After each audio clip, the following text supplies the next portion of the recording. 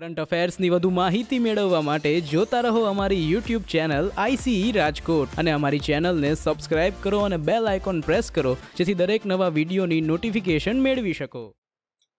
નમસ્તે વિદ્યાર્થી મિત્રો. આઈસીઈના ડિજિટલ પ્લેટફોર્મમાં આપનું હાર્દિક સ્વાગત છે. વિદ્યાર્થી મિત્રો કમેન્ટ બોક્સના આપના સૂચનો અમે રોજ જોઈએ છીએ. અમારી ટેકનિકલ ટીમ પણ એ સૂચનોનો જવાબ આપવામાં મારા સુધી આપના પ્રશ્નો પહોંચાડવામાં ખૂબ મહેનત કરી રહી છે. એ પણ ખાસ ધ્યાન રહે વિદ્યાર્થી મિત્રો, કે આપના જે પ્રશ્નો છે, એની સાથે થોડો કન્ટેક્સ્ટ થોડુંક પૃષ્ઠભૂમિ આપવાનું રાખો. જો વિદ્યાર્થી મિત્રો, જેમ કે અંસારી એરાસ, આ ભાઈ એક પ્રશ્ન કરેલો છે સ્ટર્લિંગ અને લેહલિંગ એટલે શું? તો સમસ્યા એ છે કે એ કયા અનુસંધાનમાં, કઈ પૃષ્ઠભૂમિમાં આ પ્રશ્ન પૂછી રહ્યા છો તે અમારા સુધી પહોંચતું નથી. એટલે પ્લીઝ થોડુંક બેકગ્રાઉન્ડ આપો. જેમ કે આપના જેવો જ બીજો એક પ્રશ્ન શ્રી નારાયણભાઈએ કરેલો છે. જેનો પ્રશ્ન છે, સર, નિક્ષી એટલે શું થાય? જી હા. એક પ્રશ્ન જે શ્રી નારાયણભાઈ કરેલો છે, એનો પ્રશ્ન છે કે, સર, આ નિક્ષી એટલે શું થાય? જો, અહીંયા આ એક જ શબ્દના વિવિધ ક્ષેત્રોમાં અનેક અર્થ હોઈ શકે. ઇન્ટરનેટ ક્ષેત્રે પણ આનો અલગ અર્થ હોઈ શકે છે. મેડિકલ ક્ષેત્રે પણ આનો અલગ અર્થ હોઈ શકે છે. અર્થતંત્ર ક્ષેત્રે પણ આનો અલગ અર્થ હોઈ શકે છે. તો હું આશા રાખું છું કે નેક્સ્ટ ટાઈમ જ્યારે બી આપ અમને પ્રશ્નો આપના મોકલો, ત્યારે ચોક્કસથી એમાં પૃષ્ઠભૂમિ, એક બેકગ્રાઉન્ડ આપવાનું રાખો. હવે ત્રીજો પ્રશ્ન શ્રી મેર તુષાર નામના વિદ્યાર્થીએ પૂછેલો છે. એમનો પ્રશ્ન ખૂબ જ સરસ છે. ચોક્કસથી હું એનું એક્સપ્લેનેશન અહીંયા આપવાનું પસંદ કરીશ. એમનો જે પ્રશ્ન છે, મેર તુષારજીનો એ પ્રશ્ન એવો પૂછી રહ્યા છે કોઈ પણ અનુસંધાનમાં મેં ક્યારેક કહેલું હશે કે વૈધાનિક સંસ્થા છે. કોઈ પણ સંસ્થાનું મેં નામ લીધેલું હશે અને કહેલું હશે કે વૈધાનિક સંસ્થા છે. તો એમને પ્રશ્ન પૂછેલો છે કે, સર, વૈધાનિક અને અવૈધાનિક સંસ્થા વચ્ચેનો તફાવત શું છે? તો હું અહીંયા આપને જણાવી દઉં છું કે તફાવત જે છે એ વિવિધ પ્રકારની સંસ્થાઓ વચ્ચે શું છે? તો ખાસ ધ્યાન રહે, ભારતમાં ઉલ્લેખની દ્રષ્ટિએ સંસ્થાઓ ત્રણ પ્રકારની હોય છે. જી હા, ભારતમાં ઉલ્લેખની દ્રષ્ટિએ સંસ્થાઓ ત્રણ પ્રકારની હોય છે. જે બંધારણીય સંસ્થા વૈધાનિક સંસ્થા તથા કારોબારી સંસ્થા. આ ત્રણ નામથી ઓળખાય છે. બંધારણીય સંસ્થાને કોન્સ્ટિટ્યુશનલ બોડી પણ કહી શકીએ છીએ. વૈધાનિક સંસ્થાને સ્ટેચ્યુટરી બોડી પણ કહી શકીએ છીએ. કારોબારી સંસ્થાને એક્ઝિક્યુટિવ બોડી પણ કહી શકીએ છીએ. એ ખાસ ધ્યાન રહે વિદ્યાર્થી મિત્રો, કે અહીંયા મેં જે ભાગ પાડેલા છે, સંસ્થાના ડિવિઝન પાડેલા છે, એ ભાગો ઉલ્લેખની દ્રષ્ટિએ પાડેલા છે. એટલે કે સંસ્થાનું નિર્માણ થયું ત્યારે એનો ઉલ્લેખ ક્યાં હતો? એ દ્રષ્ટિએ? બંધારણીય સંસ્થા સ્વાભાવિક રીતે બંધારણીય સુધારા દ્વારા, જી હા, ભારતનું જે બંધારણ છે, તેમાં સુધારા દ્વારા જ બંધારણીય સંસ્થાનું નિર્માણ કરી શકાય છે, અથવા તો કોઈ બંધારણીય સંસ્થા હોય તો તેનો નાશ કરી શકાય છે. એટલે કે પહેલેથી કોઈ બંધારણીય સંસ્થા હોય, જો એનો મિટાવવી હોય, તો પણ બંધારણમાં ભારતનું જે સંવિધાન છે, એમાં બંધારણીય સુધારો કરવો પડશે. જો નવી સંસ્થા બનાવી હોય, તો પણ બંધારણીય સુધારો આવશ્યક છે. એનો અર્થ એવો થાય કે આ સંસ્થાને હાઈએસ્ટ પ્રોટેક્શન મળેલું છે. જી હા, ખૂબ મોટી માત્રામાં આ સંસ્થા પાસે પ્રોટેક્શન છે. એટલે કે રોજ આવી સંસ્થાઓ જે આજની સરકાર છે બનાવી પણ ના શકે, મિટાવી પણ ના શકે. એવું ન થાય કે સરકારનું જ્યારે મન થાય ત્યારે નવી બંધારણીય સંસ્થા બનાવે અથવા મિટાવે. ખાસ ધ્યાન રાખો બંધારણીય સંસ્થાને બનાવવી પણ ખૂબ જ અઘરી છે. બંધારણીય સંસ્થાને મિટાવી પણ ખૂબ જ અઘરી છે. બંધારણીય સંસ્થાના ઉદાહરણ તરીકે જો આપણે જોઈએ તો ઘણી બધી જેમ કે જીએસટી કાઉન્સિલ છે. બંધારણીય સંસ્થાના ઉદાહરણ તરીકે આપણે હજુ જોવી હોય તો સુપ્રીમ કોર્ટ પોતે છે. બંધારણીય સંસ્થાના જ ઉદાહરણ તરીકે આપણે હજુ જો કોઈ સંસ્થાનું નામ આપવું હોય તો હાલમાં નવી બનેલી એનસીબીસી પણ એક બંધારણીય સંસ્થા જ છે. એવી રીતે એ ખાસ ધ્યાન રહે કે વૈધાનિક સંસ્થા જે છે, એ પણ એક ઉલ્લેખની દ્રષ્ટિએ સંસ્થાનો પ્રકાર છે. સ્ટેટ્યુટરી સંસ્થા બનાવવા માટે માત્ર સંસદનો કાયદો જોઈએ. જી હા, વિદ્યાર્થી મિત્રો, ખાસ ધ્યાન રહે. માત્ર સંસદનો કાયદો જોઈએ. જે સામાન્ય બહુમતીથી પસાર થયેલો હોવો જોઈએ. જી હા, વિદ્યાર્થી મિત્રો. સામાન્ય રીતે વૈધાનિક સંસ્થા બનાવી હોય તો શું કરવું પડે? માત્ર સંસદનો કાયદો જોઈએ જે સામાન્ય બહુમતીથી બનેલો હોવો જોઈએ. સંસદની સામાન્ય બહુમતીથી બનેલો હોવો જોઈએ. જો સંસદના કાયદા દ્વારા કોઈ સંસ્થાનું નિર્માણ થાય તો તેને વૈધાનિક સંસ્થા કહીશું. ખાસ ધ્યાન રહે, વિદ્યાર્થી મિત્રો, સંસદના કાયદા દ્વારા જો કોઈ સંસ્થાનું નિર્માણ થાય તો તેને વૈધાનિક સંસ્થા કહીશું. એ પણ ખાસ ધ્યાન રહે, વિદ્યાર્થી મિત્રો. કે આવી સંસ્થાઓ પાસે પણ પ્રોટેક્શન હોય છે. મતલબ કે એવું ન થઈ શકે કે સરકાર ઈચ્છે ત્યારે આવી સંસ્થા બનાવી દે અથવા ઈચ્છે ત્યારે આવી સંસ્થા મિટાવી દે. એવું એટલા માટે નહીં થઈ શકે, કારણ કે સંસદના બંને ગૃહોમાં જ્યાં લોકસભા અને રાજ્યસભા બંનેમાં તમારી પાસે બહુમતી હોવી જરૂરી છે. તો જે છે વૈધાનિક સંસ્થાઓ બની શકે. ખાસ ધ્યાન રહે કે વૈધાનિક સંસ્થા બનાવવી પણ થોડીક અઘરી છે, હોય તો એને મિટાવવી પણ થોડીક અઘરી છે. પરંતુ એટલી અઘરી તો નથી કે જેટલી બંધારણીય સંસ્થા બનાવવી કે મિટાવવી છે. ખાસ ધ્યાન રહે, કારણ કે જ્યારે બંધારણીય સંસ્થા બનાવવાની હશે, ત્યારે સંસદના બંને ગૃહોમાં વિશિષ્ટ બહુમતી જોશે. જ્યારે અહીંયા કેવી છે? સામાન્ય બહુમતી છે. એ પણ ધ્યાન રહે કે અમુક બંધારણીય સંસ્થા, જેમ કે જીએસટી કાઉન્સિલ બનાવી હોય, તો અડધાથી વધુ રાજ્યોની પણ સહમતિ જોશે. અડધાથી વધુ રાજ્યોની પણ સહમતિ જોશે. ભૂલાય જ નહીં વિદ્યાર્થી મિત્રો. બંધારણીય સંસ્થા બનાવી અઘરી શું કામ છે? એમાં પણ સંસદની બહુમતી, પરંતુ વિશિષ્ટ બહુમતી. એમાં ઉપરાંતમાં અડધાથી વધુ રાજ્યોની બહુમતી, અડધાથી વધુ રાજ્યોની વિધાનસભાઓમાંથી સામાન્ય બહુમતી દ્વારા જો તમે બંધારણીય સુધારો કરી શકો, તો જ આવી સંસ્થા બનાવી શકો અથવા મિટાવી શકો. અહીંયા સંસદના સામાન્ય કાયદા દ્વારા, સામાન્ય બહુમતી દ્વારા સંસ્થા બની શકે છે, મિટાવી શકાય છે. એના ઉદાહરણ પણ આપણે આપી શકીએ છીએ. એનું જે ઉદાહરણ હું આપું તમને, તો ખાસ ધ્યાન રહે એના ઉદાહરણ ઘણા બધા છે, ઘણા બધા. જેમ કે આપણે જોઈએ તો ઇન્ફોર્મેશન કમિશન. જે કેન્દ્રીય માહિતી આયોગ છે, એ એક પ્રકારની વૈધાનિક સંસ્થા છે, ખાસ ધ્યાન રહે. એ ઉપરાંત પણ અનેક ઉદાહરણ જે છે, એ વૈધાનિક સંસ્થાના લઈ શકીએ. જેમ કે SEBI, securities and exchange board of India. જેમ કે TRAI, telecom regulatory authority of India. એ ખાસ ધ્યાન રહે, ત્રીજો ઉલ્લેખની દ્રષ્ટિએ જે સંસ્થાનો પ્રકાર છે, એને આપણે કારોબારી પ્રકાર કહીશું. એટલે કે હાલમાં જે સરકાર હોય, જે કોઈ સરકાર હોય, તે સરકાર પોતાની મરજીથી સંસ્થા બનાવી શકે, હાજર હોય, તે સંસ્થાને મિટાવી શકે. જી હા. ફરીથી કહી આપું સંસદની બહુમતીની જરૂર પડશે નહીં. એટલે આ પ્રકારની સંસ્થા પાસે કોઈ પ્રોટેક્શન સરકારની સામે હોતું નથી. ખાસ ધ્યાન રહે. જી હા, ખાસ ધ્યાન રહે. એકદમ પ્રોટેક્શન નહીં હોય એને કારોબારી સંસ્થા કહીશું. થોડુંક પ્રોટેક્શન હશે એને વૈધાનિક કે વિધાન દ્વારા, કાયદા દ્વારા બનેલી છે. સંસદમાંથી સામાન્ય બહુમતીથી કાયદો પસાર કરાયેલો છે.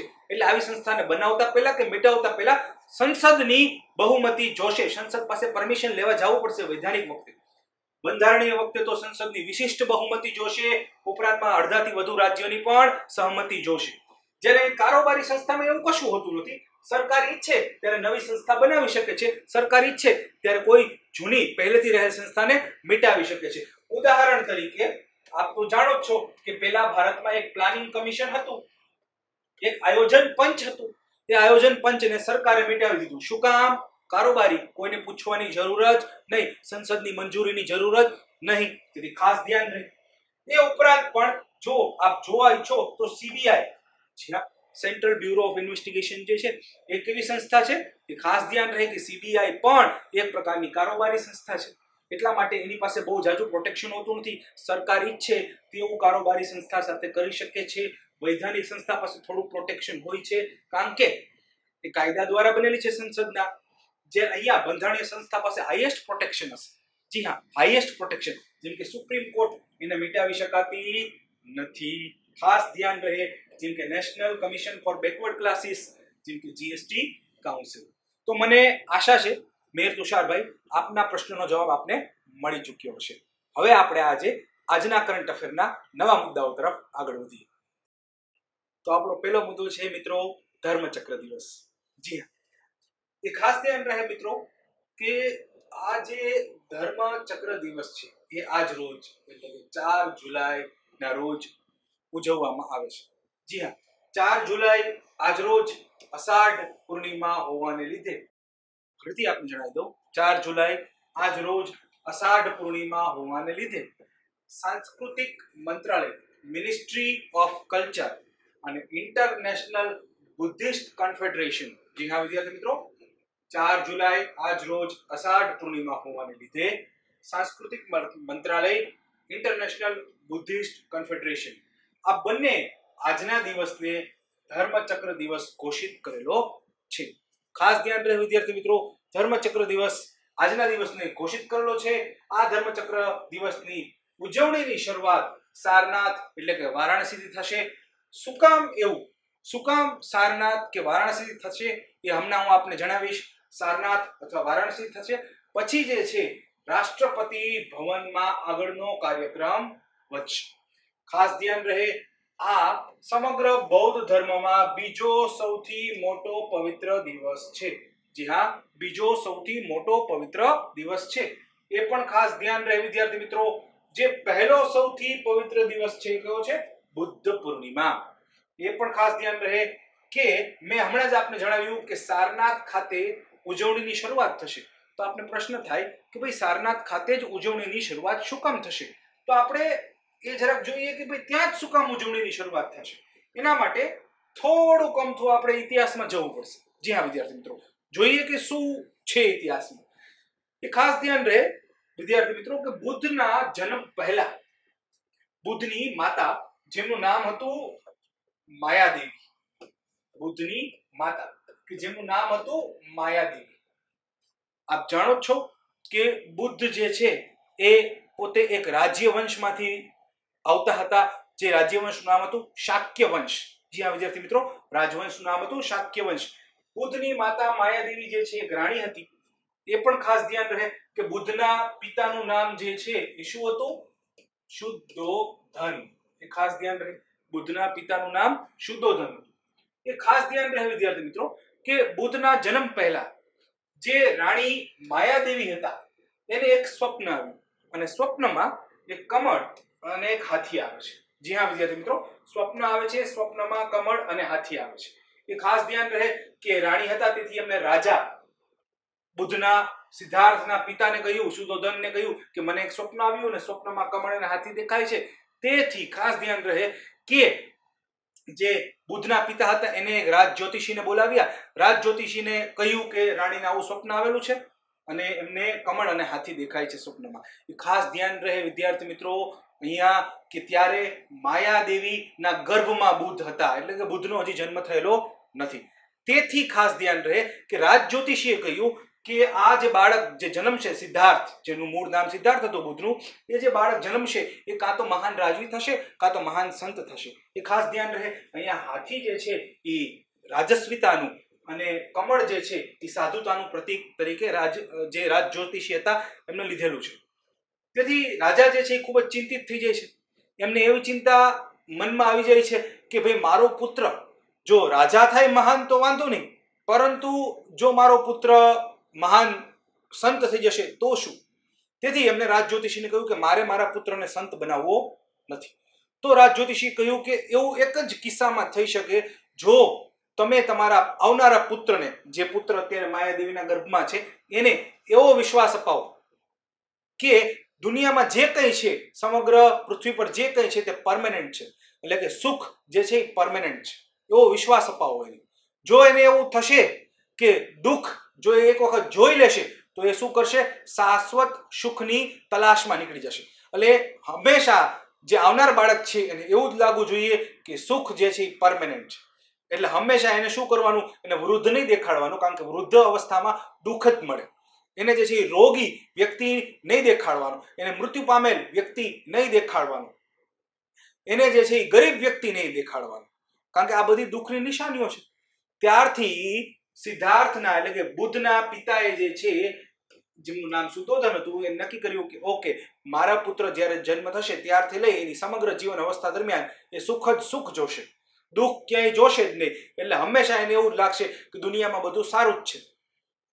તો આવી રીતે સિદ્ધાર્થનો બાદમાં જન્મ થાય છે, એ ખાસ ધ્યાન રહે. સિદ્ધાર્થના જન્મ બાદ એના પિતા આ બાબતોની ખાસ તકેદારી લે છે કે એની આસપાસ ક્યાંય રોગી ન આવે, ક્યાંય મૃત્યુ પામેલ ડેડ બોડીને મૂકવામાં આવે, ક્યાંય એની આસપાસ જે છે એ નિર્ધન વ્યક્તિ, ગરીબ વ્યક્તિ ન આવે, વૃદ્ધ વ્યક્તિ ન આવે, એનું ખાસ ધ્યાન રાખવામાં આવે છે. જ્યારે સિદ્ધાર્થ ધીમે ધીમે મોટો થાય ને ચાલવા લાગે છે, ત્યારે બાગ બગીચામાં જે ખરેલા પાંદડાઓ હોય છે, એને પણ એ ઉઠે પહેલા વીણી લેવામાં આવે છે. નહીતર ખરેલા પાંદડાઓ જોઈ અને એને એવો અહેસાસ થઈ શકે કે આ કેમ ખરી ગયા?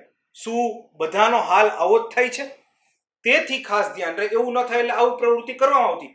પછી સિદ્ધાર્થ જે છે એ ધીમે ધીમે મોટા થાય છે. એમના લગ્ન પણ કરી દેવામાં આવે છે. એક વખત સિદ્ધાર્થના પિતા, જે રાજા શુદ્ધોધન છે, ખાસ ધ્યાન રહે કે સિદ્ધાર્થના પિતા એક વખત બહાર ગયેલા હતા, બીજા કોઈ રાજ્ય, રાજવીને મળવા માટે. અત્યારની વાત છે કે સિદ્ધાર્થને એક વખત એવું થયું કે આગળ વધીને મારે રાજ્ય સંભાળવાનું છે, તો સ્વાભાવિક રીતે મારે મારું રાજ્ય જોવું જોઈએ. તો આ રાજ્ય જે છે, એના દર્શન કરવા માટે એ રથ ઉપર બેસીને જાય છે અને આ જે રથ ઉપર બેસીને જાય છે, એમાં એમના સારથીનું નામ આપે પરીક્ષાના પર્સપેક્ટિવથી યાદ રાખવાનું છે. સારથીનું નામ હતું છન્ના.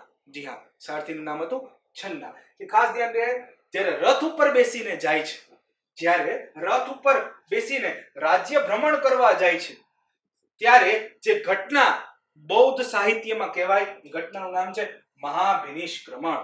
જી હા પરીક્ષાના દ્રષ્ટિકોણથી વિદ્યાર્થી મિત્રો ભૂલાય નહીં. અહીંયા કે સારથી છન્નાને લઈને રથ ઉપર બેસીને જાય છે, ત્યારે રાજ્ય ભ્રમણ કરવા જાય છે. ઘટનાનું નામ છે મહાભિનિષ્ક્રમણ ત્યારબાદ એ જ્યારે આ બહાર નીકળે છે, ત્યારે સ્વાભાવિક રીતે રાજ્યમાં તો ઘણા વૃદ્ધો મળશે જ.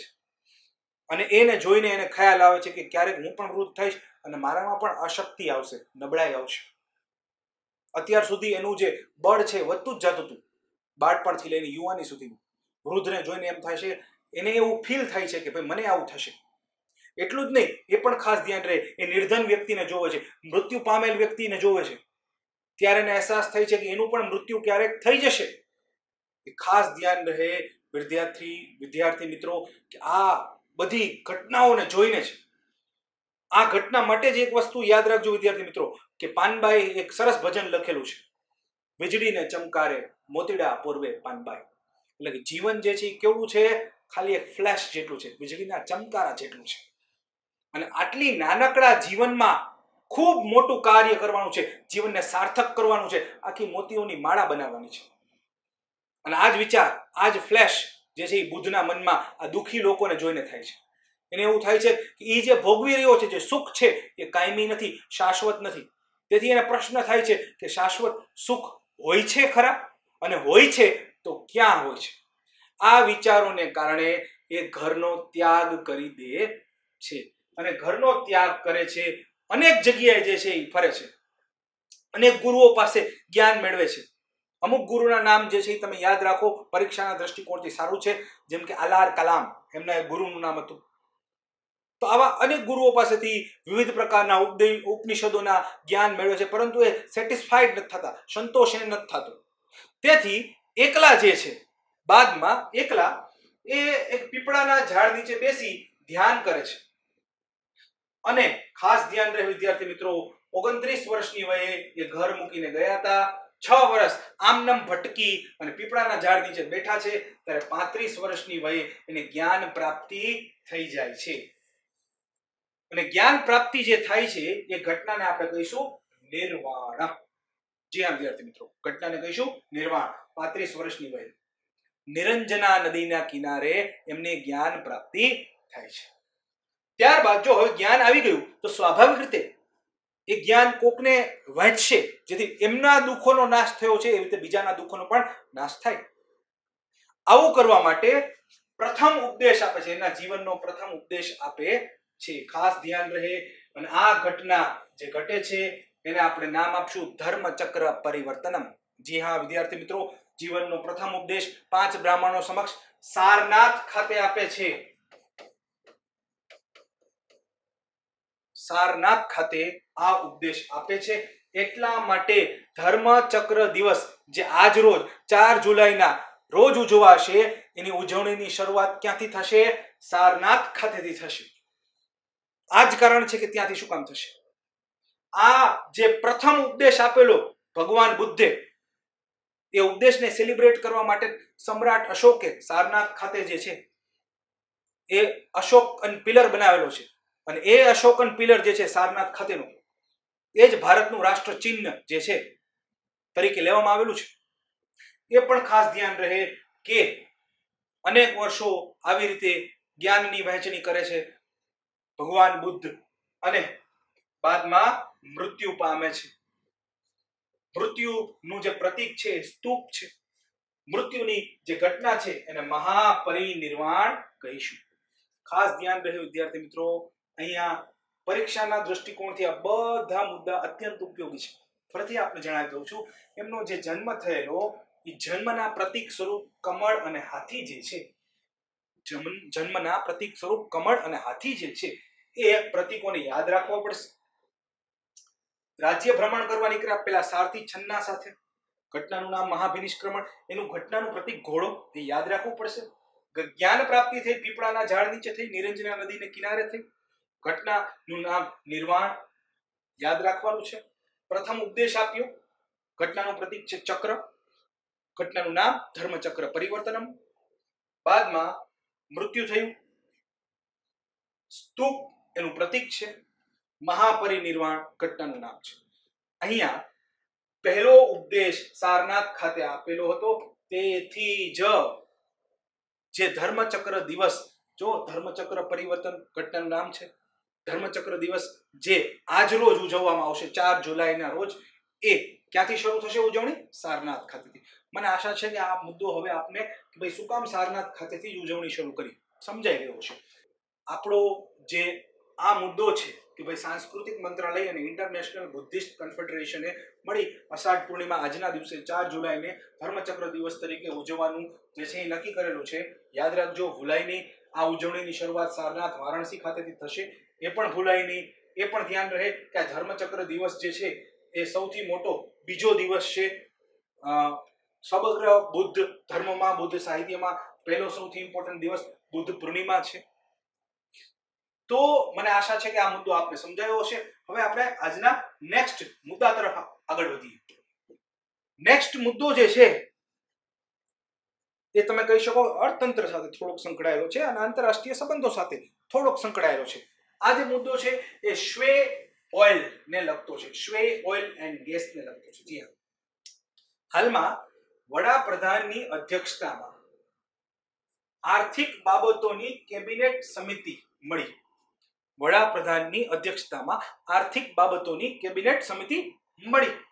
અને ઓએનજીસી વિદેશ લિમિટેડ, જી હા, ઓઇલ એન્ડ નેચરલ ગેસ કોર્પોરેશનની જ એક સબસિડિયારી છે, જેનું નામ છે ઓએનજીસી વિદેશ લિમિટેડ, જે ટૂંકમાં ઓવીએલ તરીકે ઓળખાય છે. એને શ્વે બ્લોકના એ વન અને એ થ્રી માં એક્સપ્લોરેશન, ખનન કરવું છે. શેના માટે કરવું છે? ગેસ અને ઓઇલ માટે. એના માટે જે નાણાંની જરૂર છે તેને મંજૂરી આપવામાં આવી. એકસો એકવીસ મિલિયન ડોલરની મંજૂરી આપવામાં આવી. હવે પરીક્ષાના દ્રષ્ટિકોણથી આપણા માટે શું કામનું? એક જ વસ્તુ, Shwe, oil and gas. Field જે છે એ ક્યાં આવેલું છે? તો ભૂલાય નહીં આ Shwe, oil and gas field જે છે એ મ્યાનમારમાં આવેલું છે. જી હા, ક્યાં આવેલું છે?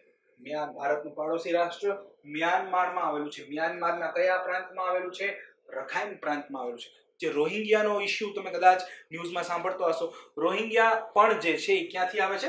રખાઈન પ્રાંતમાંથી. ભૂલાય જ નહીં. તેથી ખાલી એટલું જ યાદ રાખવાનું છે કે Shwe oil and gas field ક્યાં આવેલું છે મ્યાનમારમાં? ત્યાં ભારતની કઈ સરકારી કંપની જે છે એ રોકાણ કરવાની છે? તો કે ઓએનજીસી વિદેશ લિમિટેડ. અને હાલમાં આ પ્રસ્તાવ કોને પારિત કર્યો છે? વડાપ્રધાનની અધ્યક્ષતામાં મળેલ આર્થિક બાબતોની કેબિનેટ સમિતિએ. હવે નેક્સ્ટ મુદ્દા તરફ જરા આગળ વધીએ. જે નેક્સ્ટ મુદ્દો છે એ પણ અત્યંત જરૂરી સાબિત થશે આપણી પ્રિપેરેશન માટે. નેક્સ્ટ મુદ્દો છે આપસ્પાને લગતો. જી હા. આપસ્પાને લગતો આ મુદ્દો. Armed forces special powers act જી હા. ખાસ ધ્યાન રહે. ફરીથી આપણા માટે રિપીટ કરી જાઓ full form armed forces special powers act ગુજરાતીમાં જો આપણે એનું નામકરણ કરવું હોય તો સશસ્ત્ર દળ વિશેષ શક્તિ અધિનિયમ. સશસ્ત્ર દળ એટલે armed forces, special powers act, સશસ્ત્ર દળ વિશેષ શક્તિ અધિનિયમ.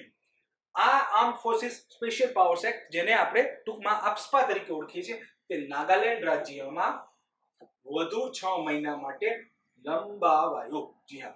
વધુ છ મહિના માટે લંબાવાયો. અને આ છ મહિના ક્યારથી શરૂ થશે? ત્રીસ જૂન બે હજાર વીસથી શરૂ થશે. એ પણ ખાસ ધ્યાન રહે કે આપસ્પા કાયદો ઓગણીસો ને અઠ્ઠાવનમાં જે છે લાવવામાં આવેલો છે. બિલકુલ ભૂલાય નહીં. અને ધારા ત્રણ હેઠળ સમગ્ર ભારતના કોઈ પણ વિસ્તારને ડિસ્ટર્બ એરિયા ઘોષિત કરી શકાય છે. જો તે વિસ્તાર ખતરનાક હોય અથવા તો અશાંત હોય તો ખાસ ધ્યાન રહે. ધારા ત્રણ હેઠળ કયા કાયદાની ધારા ત્રણ હેઠળ? સશસ્ત્ર દળ વિશેષ શક્તિ અધિનિયમ અથવા આપસ્પાની ધારા ત્રણ હેઠળ.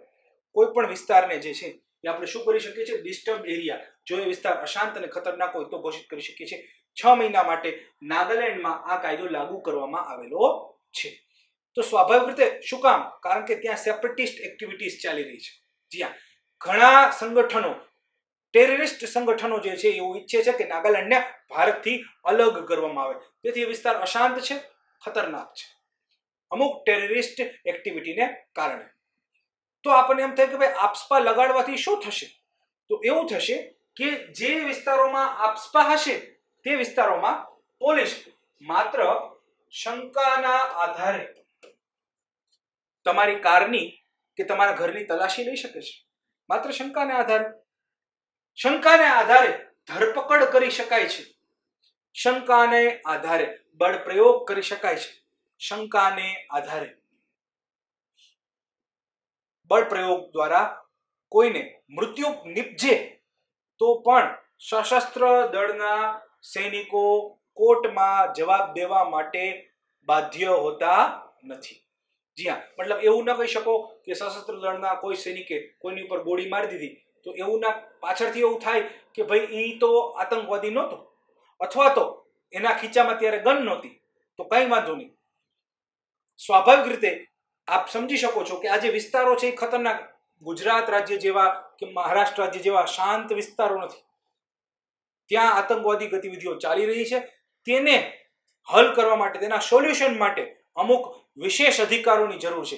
તે અધિકારો આ કાયદા દ્વારા આપસ્પા દ્વારા સશસ્ત્ર દળોને આપવામાં આવે છે. કયા અધિકારો?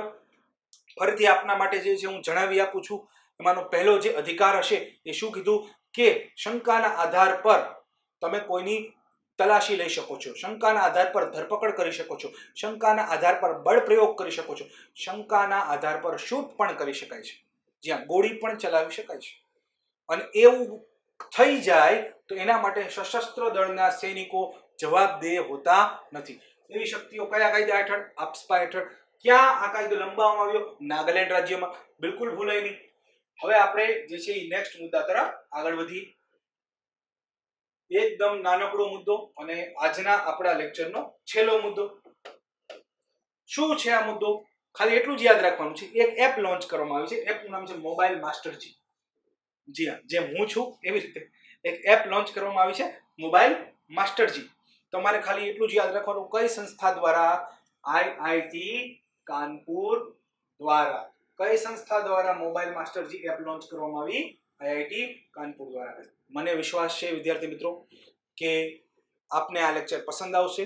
જરૂરથી આ લેક્ચરના વિડીયોને લાઈક કરજો, આપના મિત્રો સાથે શેર કરજો. અને જો આપે ચેનલ હજુ સબસ્ક્રાઇબ ન કરી હોય તો જરૂરથી કરી લેજો. તેથી અમારા નોટિફિકેશન્સ સતત આપને મળતા રહે. કમેન્ટ કરી અને આપના સૂચનો અમને મોકલવાનું બિલકુલ ચૂકતા નહીં. Thank you very much